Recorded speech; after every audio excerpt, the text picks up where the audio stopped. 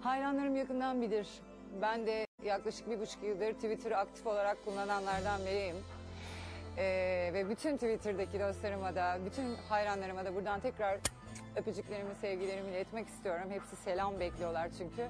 Özellikle askerde olan arkadaşlarıma da iyi tezkereler diliyorum sevgili Serdar.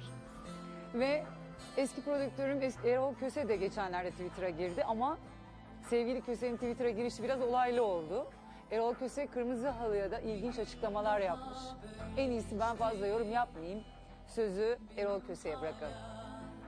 Benim dilim biraz sivridir. Dobra konuşurum. Ünlü prodüktör Erol Köse Twitter'a üye olduğu sanatçılara savaş açtı.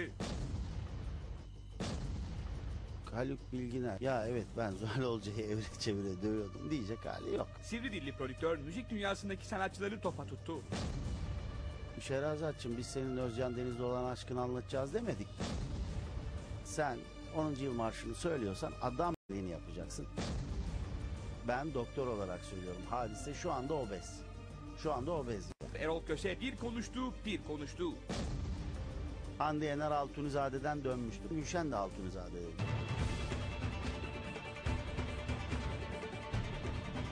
Ünlü prodüktör Erol Köse bir süre ara verdiği müzik sektörüne geri döndüğünü açıkladı. Hızlıca prodüktörlüğe döndüm. 26 tane albüm çıkaracağım. 9 tane büyük megastar transfer ettim. Köse'nin prodüktörlüğe geri dönmesiyle birlikte ilk işi Twitter hesabı açmak oldu. Binlerce soru sormaya başladılar. Baktım sonu yok. Dedim bari hani her gün bir şey anlatayım.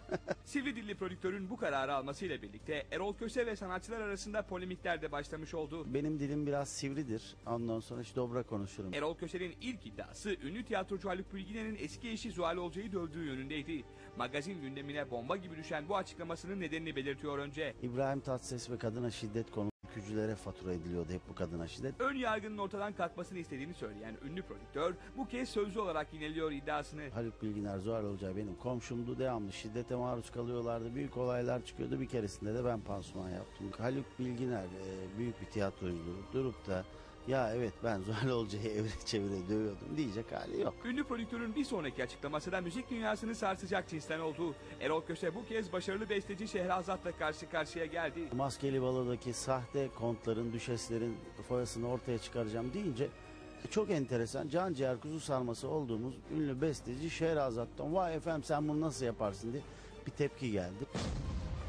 Vallahi dedim Şehrazatçım biz senin Özcan Deniz'le olan aşkını anlatacağız demedik. Sana ne oldu ki birden celallendin dedim. İddiaların ardı arkası kesilmiyor Erol Köse'de. Ünlü popçu Kenan Doğulu'yu doluyor dinle şimdi de. Ne hikmettir ki 40 yaşına gelmek üzere ve askere gitmedi. Yurt dışında okuyorum bahanesiyle askerden kaçamazsın. Bu ne bitmez okulmuş. Doktoralar mı yaptın? Profesör mü oldun? Doçent oldun da bizim mi haberimiz yok? Kenan Doğulu'ya salvolarına devam ediyor ünlü prodüktör. Sen 10. yıl marşını söylüyorsan adam gibi askerliğini yapacaksın. Erol Köse'nin sivri dilinden nasibini alan bir diğer popçu da Hadise. Aa, hiç zahmet edip aa, hiç zahmet edip aa, aa, aa, aa, aa, hiç zahmet edip de düşünme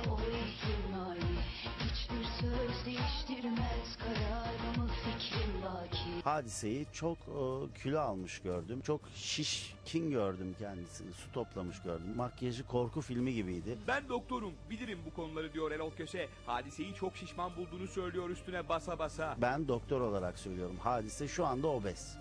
Şu anda obez yani. Erol Köse hadisenin bu görüntüsüyle ilgili bir de yorum yapıyor. Sinan Akçil ile ayrıldıktan sonra psikolojik olabilir. Ve gelelim prodüktörlüğünü yaptığı sanatçı sanatçılara. Benimle çalışanlar benden ayrıldıktan sonra üçe ayrılıyorlar. Bir, duvara çarpanlar. iki eh öyle böyle durumu kurtaranlar. Üç, başarılarını devam ettirenler. Üç bölüme ayırdığı eski sanatçılarından örnekler vermeye başlıyor Erol Köse. Bunlara Altunizade diyorum. Altunizade'nin özelliğine köprüden önce son çıkış. Hande Yener Altunizade'den dönmüştür. Yani hatadan, elektronikten dönüp çok güzel, başarılı.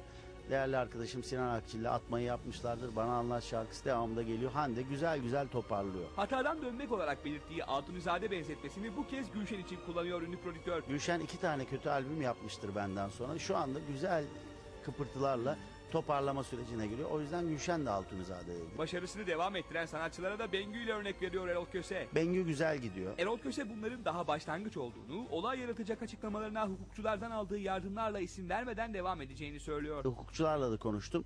Birebir isim vermesek de öyle bir tarif yapacağız ki onu zaten okuyan hiç zeka geriliği yoksa kimin olduğunu anlayacak. Müzik dünyasına bomba gibi düşen ardı arkası kesilmeyen açıklamalar magazin gündeminde daha çok yer bulacak gibi görünüyor.